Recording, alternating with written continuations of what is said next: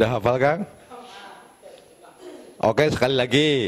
Satu, dua, tiga.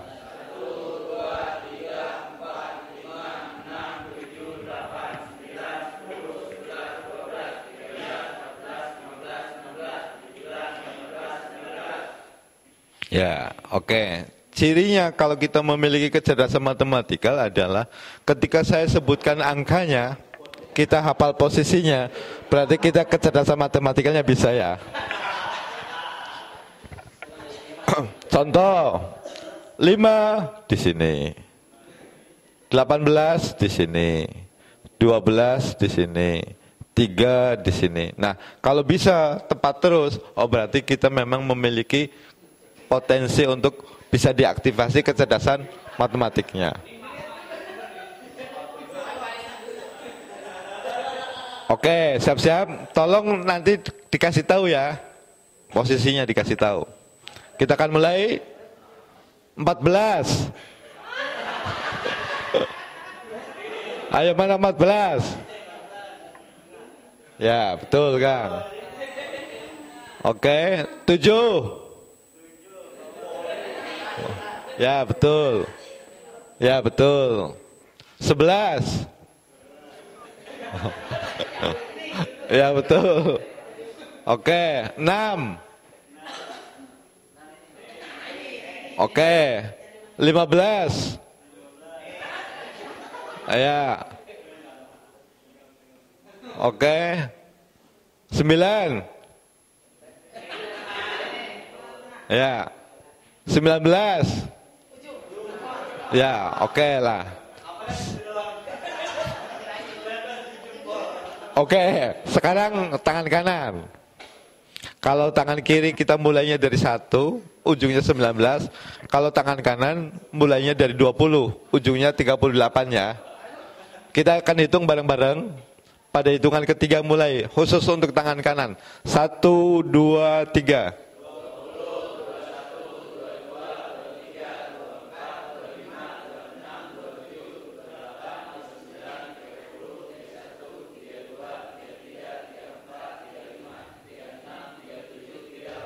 Ulangi sekali lagi. Satu, dua, tiga.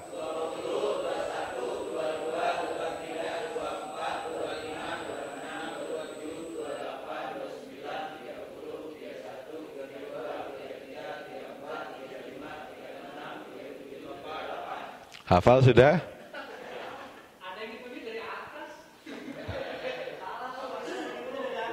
Dari bawah ngitungnya ya dari bawah ya. Dari bawah ke atas. Iya. Oke sekali lagi supaya nggak ragu ya. Pelan-pelan aja supaya bisa mengenali. Satu, dua, tiga.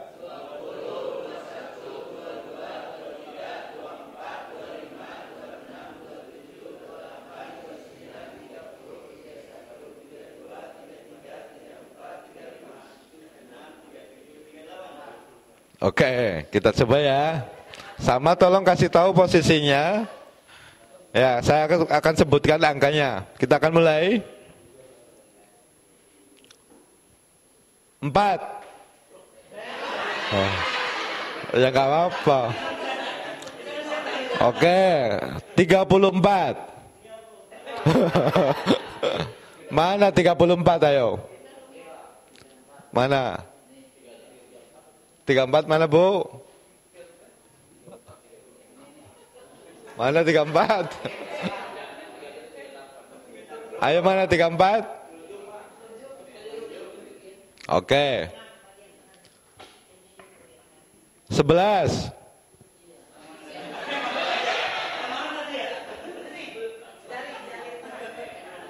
Oke. 27. Mana 27 Kak? Oke. 14.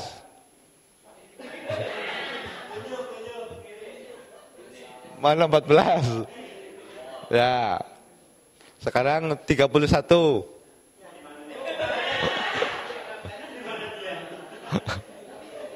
Nah, jadi oke. Okay? Ya. Ini juga teknik kalau kita ingin bagaimana anak-anak kita dia menjadi happy dengan matematik, sebetulnya bisa dirangsang dengan jari-jari. Jari-jari ini sebetulnya bisa merangsang anak-anak kita agar dia mau dekat, mau suka, mau senang dengan matematik. Sekaligus teknik ini itu akan bisa mengaktifasi kecerdasan matematikal. Selanjutnya yaitu siapakah orang yang memiliki kecerdasan matematikal? Cirinya gampang, kan? Yaitu cirinya adalah siapa saja yang setiap harinya selalu menuliskan berapa hutangnya, maka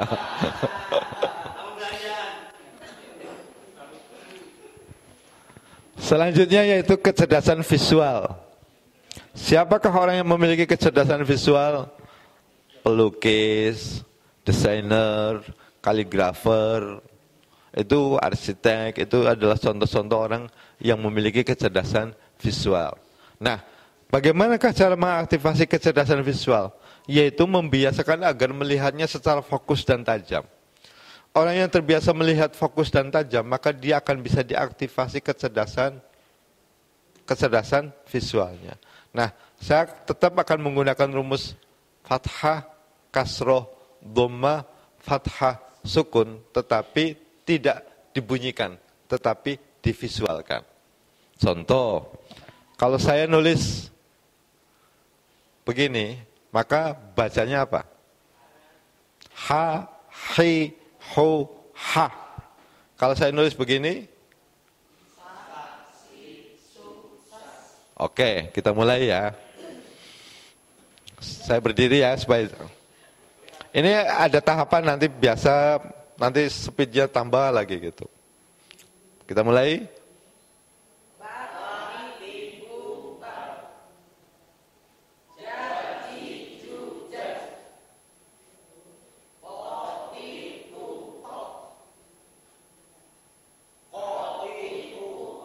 Oke, speednya saya tambah ya.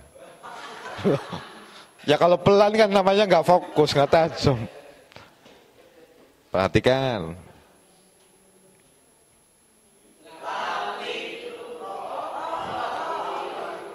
Oke, roh betul. Betul. Betul. Oke, sekarang speednya saya tambah lagi. Jadi kalau orang mulai melihatnya fokus, tajam, maka akan mengaktifasi kecerdasan visualnya. Ya, oke, perhatikan.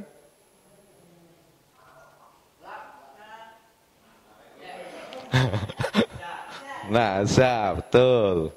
Oke, perhatikan.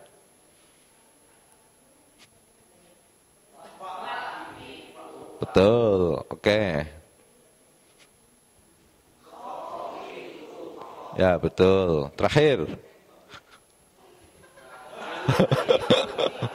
Apa? Sa? Ya, betul.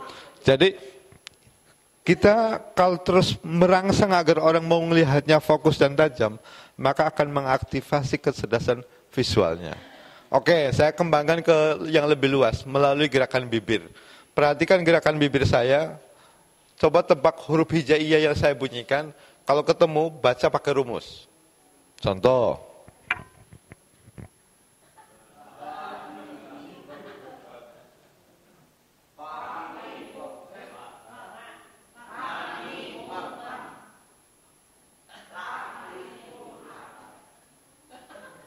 Nih, perhatikan.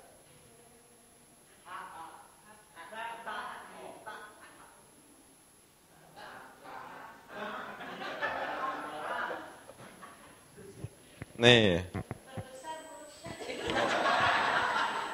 Kalau jelas namanya nggak fokus. Ini justru nanti insya Allah di akhir saya kasih hadiah ya buku. Oke, sekarang angka saja lah. Tebak angka 1 sampai angka 100. Oke, perhatikan. Oke, sekarang 1 sampai 1000.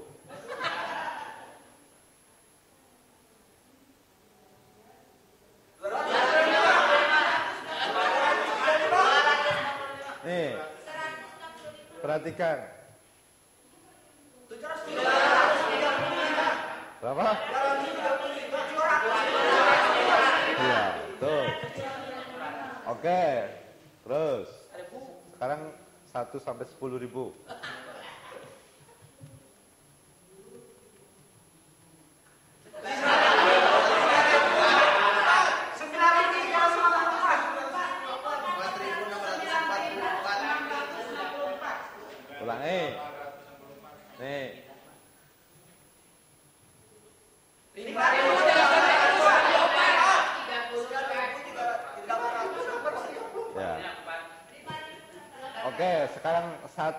Sampai 100 ribu. Nanti hadiahnya ketika 1 sampai 1 juta. Ini latihan dulu. Kalau sudah bisa melihat 6 digit secara fokus dan tajam, maka itu artinya kecerdasan visualnya mulai tumbuh. Perhatikan.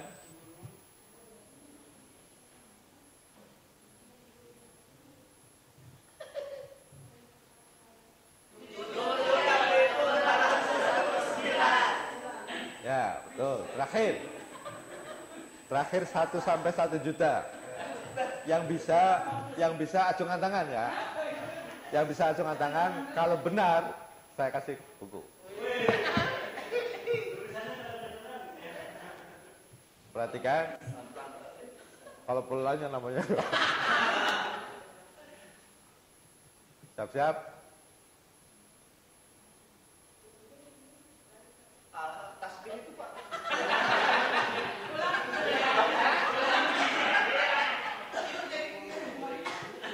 Nih. Perhatikan.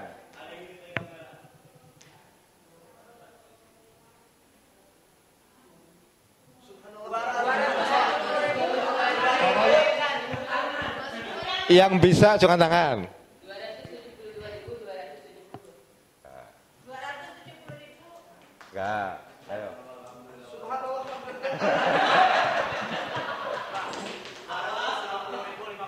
Enggak. Enggak. Sekali lagi, ya. Nih, perhatikan, agak saya pelanin lah.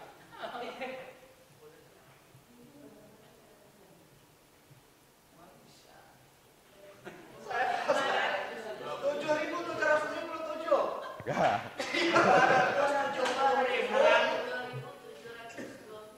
Berapa? Enggak. Enggak. Sekali lagi ya. Sekali lagi.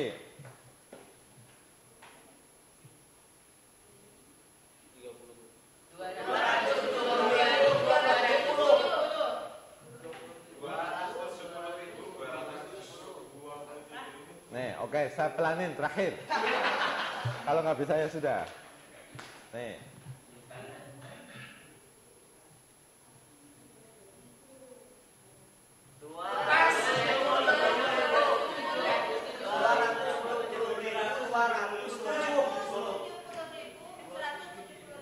Berapa?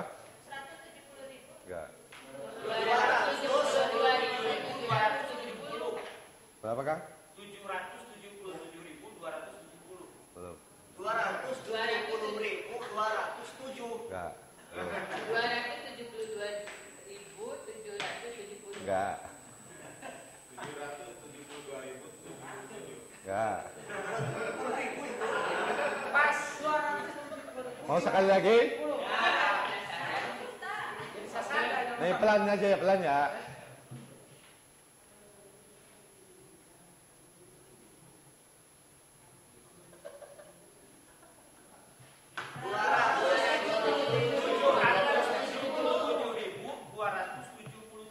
Enggak. Enggak.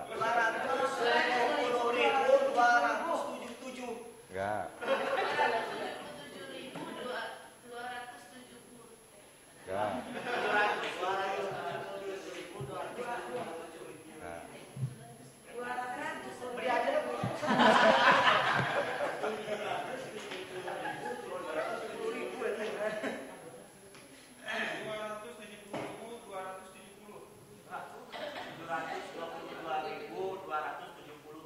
Enggak.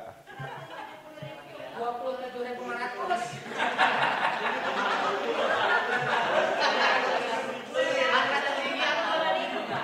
Berapa? 272.277. Enggak.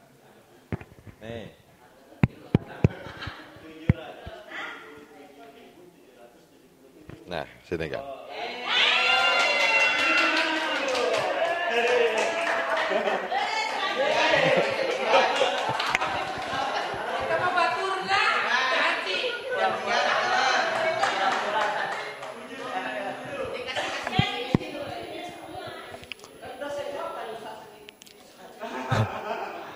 Ya.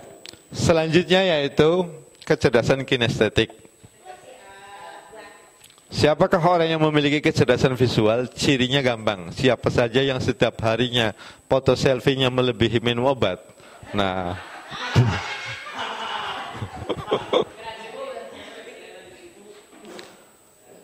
Selanjutnya yaitu kecerdasan kinestetik, yaitu seseorang yang memiliki kemampuan apa kecerdasan kinestetik siapa dia? Olahragawan. Nah, sekarang bagaimana cara mengaktifasi kecerdasan kinestetik? Saya akan pakai rumus kayak tadi ya, il, ham, ku. Kalau gerakannya selalu sama dengan instruksi, berarti kita memang memiliki kecerdasan kinestetik. Oke, kita akan coba mulai. Siap-siap. Il, gak apa-apa duduk aja. Il, ham, ku. Oke, kita akan mulai ya. Satu, dua, tiga. Ham, il, ku, ku, ham, ku, il, il, ku. Ya. Sekarang tangan kiri. Sama rumusnya il, ham, ku. Kita mulai. Il, il, ku. Ham, ham, il, ham, ku. Ya, udah cukup. Nah, itu artinya ke anak-anak juga cara ngerangsang agar dia memiliki antara yang ada di kecerdasan dan gerakannya selalu sama itu bisa diaktifasi dengan teknik seperti tadi, Kang. Selanjutnya yaitu kecerdasan musikal. Jadi masih rumus tadi. Jadi siapakah orang yang memiliki kecerdasan musikal? Ya penyanyi, ya kori, pelantun lagu, pelantun solawat. Nah itu contoh-contoh orang yang memiliki kecerdasan musikal. Nah sebetulnya orang yang apa saja dia bisa diadaptasi menjadi musik, berarti dia memiliki kecenderungan atau dia memiliki kecerdasan musikal. Oke, saya akan coba pakai rumusnya sama kayak tadi. Fathah, kasroh, doma, fathah, sukun, tetapi diadaptasi dengan lagu. Saya coba pakainya lagunya lagu sulis ya. Yang Salatullah, salamullah, ala taha rasulillah. Salatullah, salamullah, ala yasin habibillah. Nah sekarang diadaptasi. A, I, U, A, babi, bu, bab, tati, tu, tat, sasi, su, sas Ya gitu ya kita akan mulai pada hitungan ketiga mulai. Satu, dua, tiga.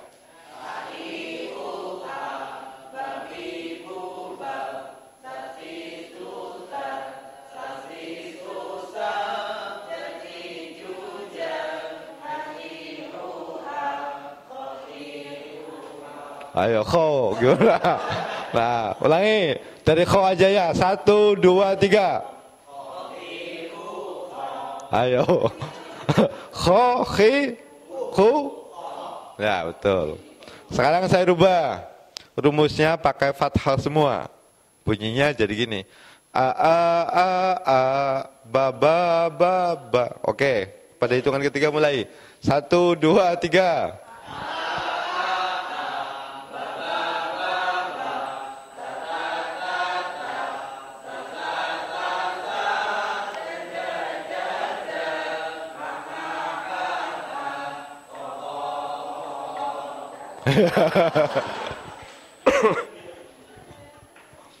Oke, saya pengen coba adu lah antara bapak-bapak dengan ibu-ibu nih. Oke, karena bapak lebih banyak. Oke, saya pengen bapak-bapak dulu. Saya pengen tahu merdu mana sih antara bapak-bapak dan ibu-ibu. Oke, kita akan coba. Sekarang bapak-bapak dulu karena jumlahnya lebih banyak. Kita mulai Rumusnya saya ganti. Pakai kasro semua. Pada hitungan ketiga mulai. Satu, dua, tiga.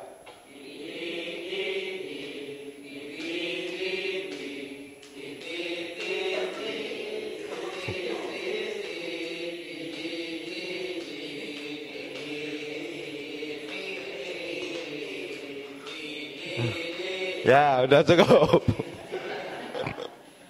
Sekarang siap-siap ibu-ibu. Ya, pada hitungan ketiga mulai. Rumusnya saya ganti pakai doma semua. Satu, dua, tiga.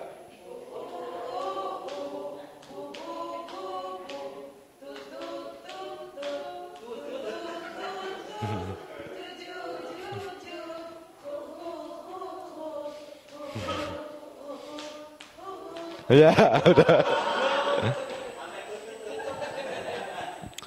Oke.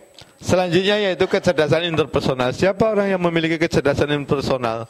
Dia orang yang bisa mempengaruhi, bisa memotivasi, bisa mendorong, bisa menggerakkan. Siapa dia?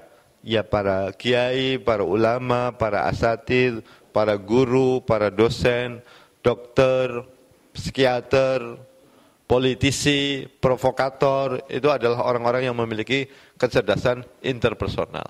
Nah, kalau kita bisa mempengaruhi orang, itu artinya kita bisa memiliki kecerdasan interpersonal. Oleh karena itu saya minta berpasang-pasangan. Silakan berpasang-pasangan.